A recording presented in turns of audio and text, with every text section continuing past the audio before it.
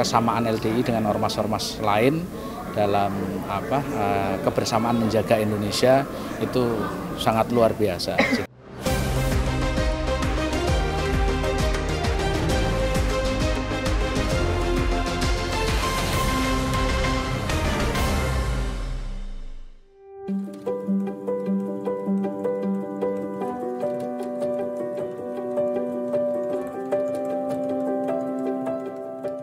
Sekretaris Lembaga Persahabatan Ormas Islam atau LPOI, Imam Pituduh mengapresiasi dukungan Ormas Islam yang mendedikasikan diri untuk memajukan empat pilar kebangsaan.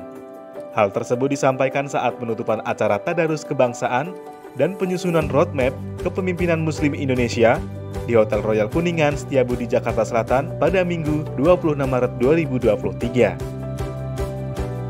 Hal tersebut dinyatakan Imam Pituduh dalam rangka menyatukan persepsi di antara ormas Islam dan menghindari perpecahan. Ia menyampaikan perlu adanya sinergi dan kolaborasi aktif seluruh ormas Islam, seperti yang telah dicontohkan LDI dengan ikut turut hadir dan memberikan pemahaman untuk memajukan dan menjaga keutuhan NKRI. Kesamaan LDI dengan ormas-ormas lain dalam apa eh, kebersamaan menjaga Indonesia itu sangat luar biasa. Jadi tinggal bagaimana kita bisa bersama-sama bergerak untuk mewujudkan Indonesia yang lebih baik dan melawan segala bentuk radikalisme, terorisme dan juga menjauhkan dari hal-hal yang tidak diinginkan yang merugikan bangsa dan negara dan agama. Menanggapi gagasan terselenggaranya Tadarus Kebangsaan oleh LPOI, Ketua DPP LDI Singgih Terus Listiono mengatakan, kegiatan di awal Ramadan itu merupakan langkah strategis dalam memberikan kontribusi untuk memajukan dan menjaga keutuhan bangsa dan negara.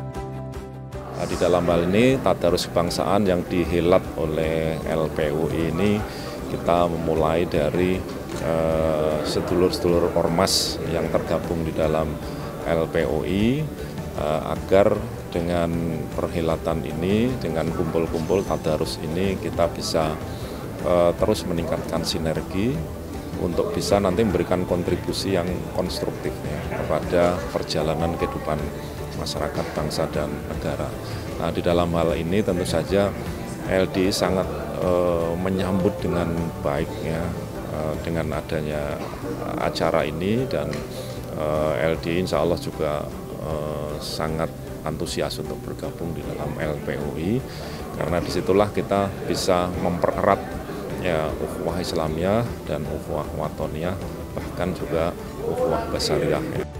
Tadarus kebangsaan merupakan tanggapan atas kondisi bangsa Indonesia yang kian dinamis. LPOI bersama 25 ormas Islam lainnya berusaha merajut ikatan kebangsaan sebagai upaya untuk memperkuat tali silaturahim dan menyatukan persepsi agar tidak terpecah belah saat berlangsungnya pesta demokrasi pada tahun 2024 nanti.